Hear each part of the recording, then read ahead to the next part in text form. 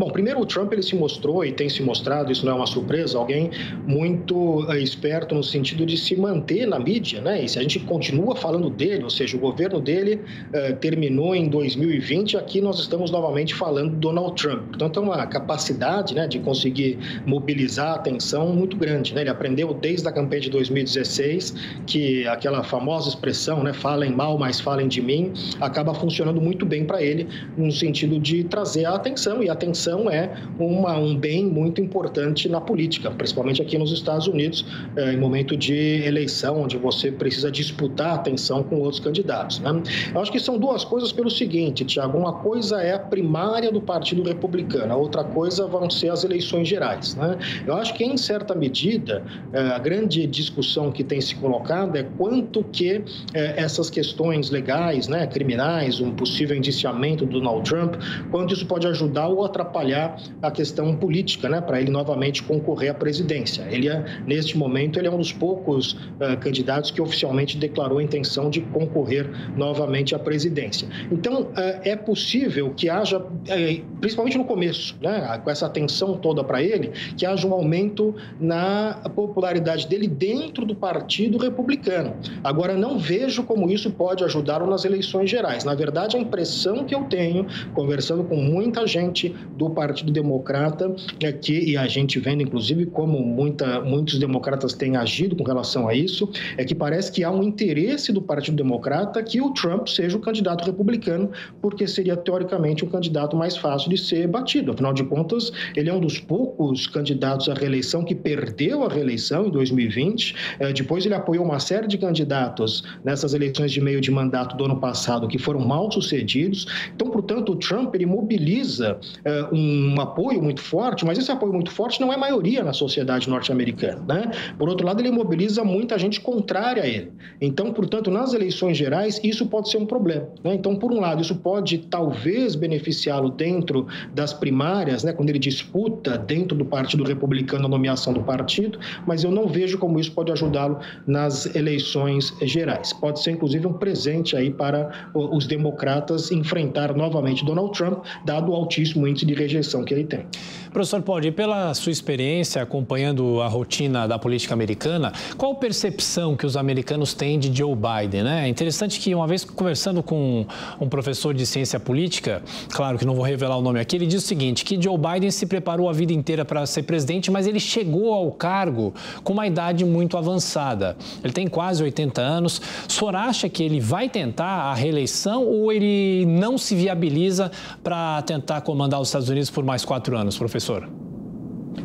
Olha, Tiago, todos os indícios que nós temos até agora são que o Joe Biden pretende se candidatar à reeleição. A questão da idade dele é sim um tema importante, né? E de fato, como você disse, conversando com muita gente e também é, vendo pesquisas de opinião, é muito claro que existe essa questão da idade, mesmo entre aqueles que apoiam o Joe Biden, né? É, muita gente não tem, é, não apoia o Joe Biden porque gosta muito das políticas ou do Joe Biden Biden em si, mas porque viu no Joe Biden como uma alternativa viável para combater o Donald Trump. Essa é a razão pela qual muitos democratas ainda apostam no Trump como candidato, porque isso pode, de novo, ser um estímulo para que as pessoas votem contra o Trump e, portanto, no candidato democrata. Então, é, esta questão da idade é sim um problema, é sim um tema importante. Não existe entre o eleitor democrata é, muita animação com relação à reeleição do Joe Biden, né? Muita gente, se você pergunta, eles gostariam de ver um outro candidato uh, à reeleição. O Joe Biden ele é em certa medida visto como um, um, um presidente de transição, né? Alguém que foi eleito com uma missão específica uh, de tirar o Donald Trump e avançar algumas pautas do Partido Democrata. Agora o problema, uh, Tiago, é que este nome de alternativa ao Joe Biden ainda não surgiu, né? Não há nenhum nome entre os democratas que pareça nesse momento viável para disputar essas eleições eleições pelo partido. Então, esse é um problema muito grande, né? Talvez os democratas estejam aí sofrendo um problema de renovação ou de novas lideranças, mas a grande questão é que não há outro nome eh, que surja para se contrapor ao Joe Biden. Veja que nas eleições passadas, os dois nomes que avançaram entre os democratas, além do Joe Biden, foi o Bernie Sanders. O Bernie Sanders também é um candidato que está na faixa dos 80 anos, né?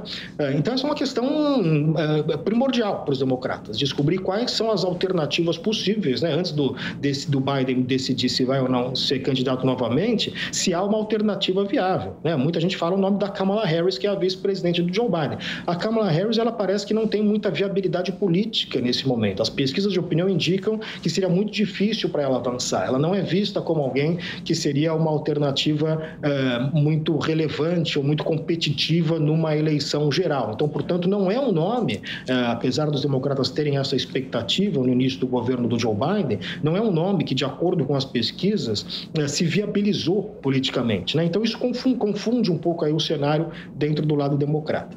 Professor Carlos Gustavo Pódio, do Departamento de Ciência Política do Berea College, em Kentucky, nos Estados Unidos, conversando conosco nessa edição do Diálogo Jovem Pan. Professor, antes de abrir um pouco a nossa discussão internacional aqui, eu queria fazer uma pergunta em relação à história americana. Esse é um ano emblemático porque serão 60 anos do assassinato do presidente John Kennedy.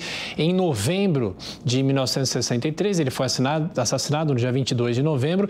E aí sempre há uma polêmica em relação se foi apenas um atirador lioso ou se havia participação de departamentos americanos, FBI, CIA, até a participação de Cuba na época. Eu pergunto, o senhor acha que os Estados Unidos têm disposição de voltar com força a esse assunto nesse ano emblemático, nessa efeméride, né, como a gente costuma chamar no jornalismo, desses 60 anos do assassinato? É muito cedo ainda, mas o que, que o senhor já vislumbra por aí?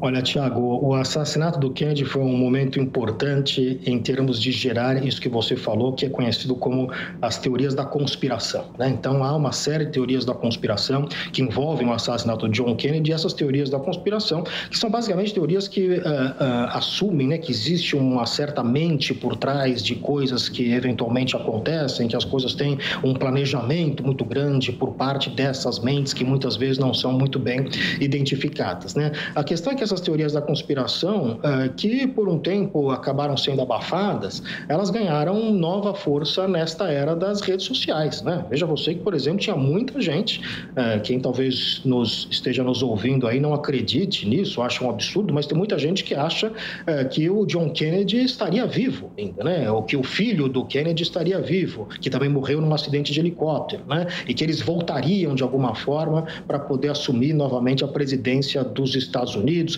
Então tem uma série de teorias da conspiração, muitas delas que nos parecem muito malucas, né? mas que ainda ganham alguma adesão por parte de alguns grupos, eh, principalmente por conta das redes sociais. Então é possível né, que por conta eh, deste momento, né, desses 60 anos do assassinato de John Kennedy, que essa teoria, como outras teorias, né, que circulam agora muito fortemente por conta, repito, eh, das redes sociais, voltem à tona. Né? Então existe isso muito fortemente hoje em dia, muita gente que por exemplo, apoia o Donald Trump, alguns dos apoiadores mais eh, fanáticos do Trump também eles costumam aderir a uma série de grandes teorias da conspiração. Muitos deles, não sei se você vai é, se lembrar, quem nos assiste vai também se lembrar, esperava que em algum momento o Trump voltasse a assumir a presidência. Né? Veja que isso aconteceu aqui no Brasil também, né? Muita gente achando que tinha um grande plano do Bolsonaro, que o Bolsonaro eventualmente voltaria à presidência, que era alguma questão uh, que estava sendo articulada de forma muito inteligente por grupos de pessoas pessoas. Isso tudo, eh, infelizmente, essas questões vão continuar circulando eh, e acho que ganham ainda mais força agora, não apenas na era das redes sociais, mas na era agora da inteligência artificial, né? E daquilo que a gente chama de deep fake. Imagina que hoje é perfeitamente possível, é muito fácil, eu criar um vídeo do John Kennedy mais velho falando que voltou agora para assumir a presidência do Brasil. As pessoas assistem esse vídeo e acreditam, olha só, vejo, John Kennedy de fato voltou. Então imagine você o potencial uh, dessas tecnologias tecnologias de inteligência artificial e de deepfake, né, que você pode fazer qualquer pessoa falar qualquer coisa, que potencial que isso vai ter em termos de estimular toda a sorte de teoria da conspiração. Então, creio que essas questões devem ser ainda uh, muito problemáticas e cada vez mais importantes no futuro. Sem dúvida. Professor Pódio, nos últimos dias tivemos também a reunião entre Xi Jinping e o presidente da Rússia, Vladimir Putin, em meio à guerra na Ucrânia, a guerra que já passou de um ano, que não termina. Eu pergunto, esse encontro pode ter algum indicativo lá para frente em relação à própria guerra? Porque a China no começo não se posicionou tão publicamente, mas ainda dá algum tipo de apoio à própria Rússia. De que maneira esse encontro é simbólico para esse momento, professor?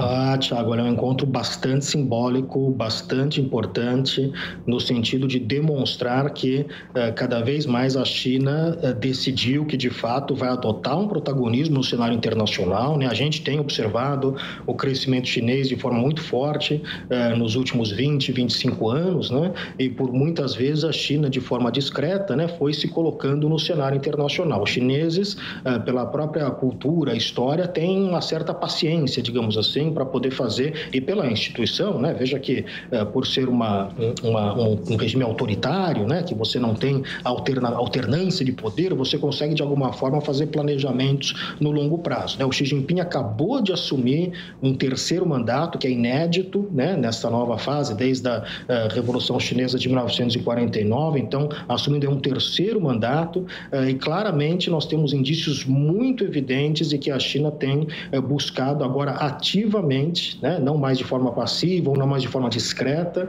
mas ativamente se colocar como uma grande uh, potência em termos de começar a lutar pelos seus interesses e demonstrar uma alternativa àquilo que, àquilo que eles veem como uh, a hegemonia, a liderança americana. Então, nós estamos vivendo uh, sob a égide da liderança dos Estados Unidos, pelo menos desde a Segunda Guerra Mundial, mas muito mais fortemente desde o final da Guerra Fria, né, a partir do início dos anos 90 e agora nós estamos observando, e neste sentido, este é um encontro simbolicamente importante, a formação aí de um bloco, né, liderado pela China, uh, que vai tentar se contrapor cada vez mais à visão de política internacional dos Estados Unidos. Isso é evidente no ponto de vista das ações dos chineses e do ponto de vista da retórica, coisa que também não era muito comum há alguns anos atrás. Então, nós estamos agora entrando numa nova fase das relações internacionais, em que se consolida muito fortemente esta rivalidade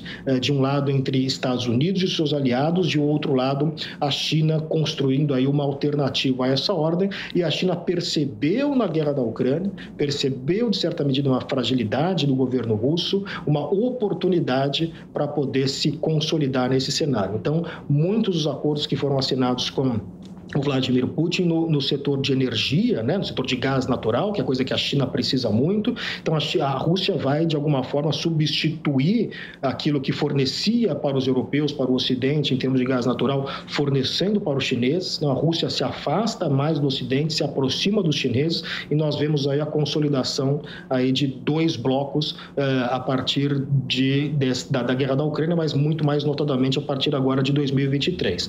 Então, vejo este encontro encontro como simbolicamente histórico, relevante, importante e um marco daquilo que parece ser eh, os contornos aí das relações internacionais eh, nesta parte aí, nesta dos que nós estamos vivendo agora no século 21.